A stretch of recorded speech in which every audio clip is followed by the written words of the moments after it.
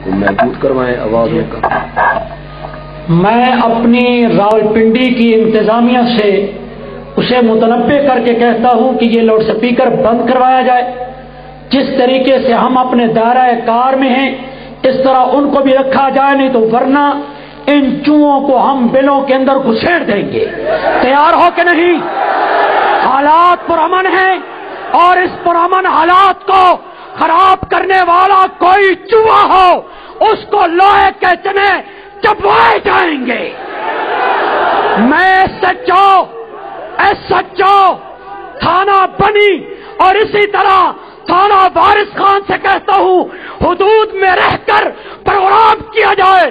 अगर हदूद की खिलाफ वर्जी की गई जो कुछ होगा? इसकी ज़िम्मेदारी इंतजामिया पर होगी।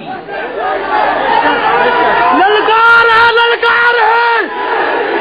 ललकार है ललकार है। और सुन ले, रजा खान की गंदी जरूरियत हमें अंदाज़ा है कि ये चूहे चीख रहे हैं। ये क्यों बाहर निकले? अगर तुम्हारा यही हरबा रहा इंशाला बारह रबीउल अव्वल को भी पुत्र आराम नल नहीं गुजर नहीं बैठने देंगे नहीं बैठने देंगे कभी स्पीकर चलाया करो तू। लाउड स्पीकर खुलेआम चलाए जाएँगे। बंद करवाए जाएँगे लाउड स्पीकर।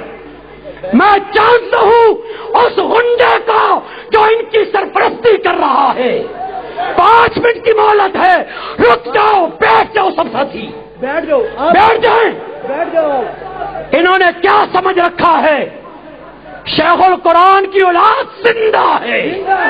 पीर बुखारी के मानने वाले ज़िंदा है। नारा तकबीर। नारा तकबीर। नारा तकबीर।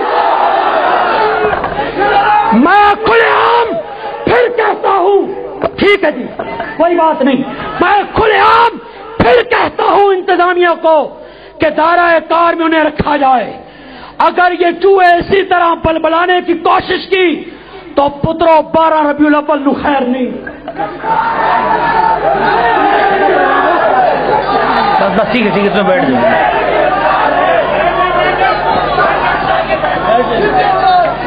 बैठ जाओ।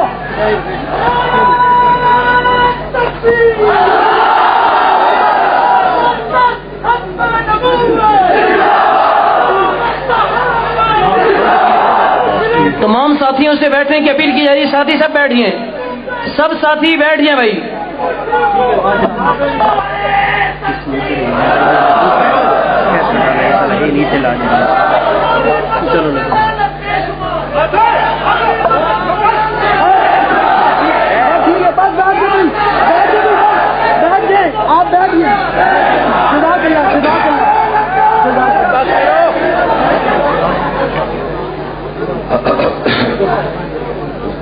Bergen Bey.